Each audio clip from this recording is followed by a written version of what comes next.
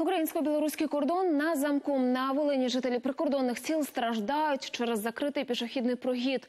З 2013 року там призупинили рух автомобілів та пішоходів на пункті пропуску. Чому його і досі не відкрили? Розбиралася Сніжана Сидорук. То за корчами, ото вже границя.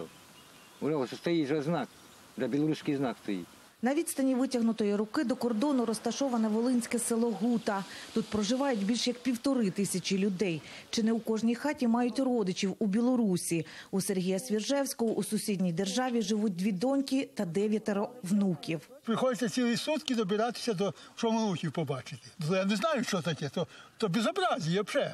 Держава не думає за народ, нічого. Раніше люди могли їздити до Білорусі через пункт пропуску Гута Отчино, але шість років тому його закрили, нібито через свинячу чуму в околицях. Причина була надумана, чисто, чисто надумана. Е, Просто ті пункти треба було закрити, менше проблем для прикордонників, для інфраструктури нашої, їхньої. Закривали тимчасово, а вийшло на роки. Пункт пропуску існує лише на карті. З української сторони дороги немає. Прикордонники несуть службу у дерев'яному вагончику без електрики, води й каналізації.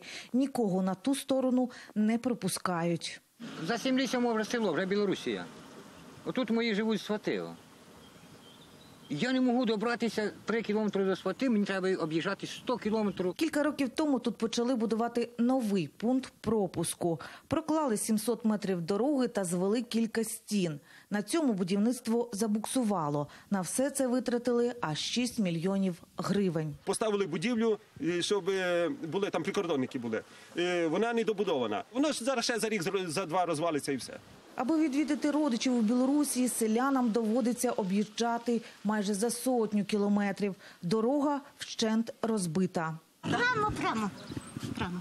19 кілометрів і хорошої дороги там уже, то то нема нічого, так як раніше їздили.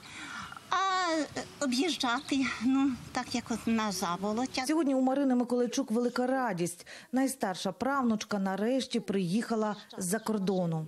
Иногда машины, иногда поездом. Деревня, дворище, а Малорицкий район.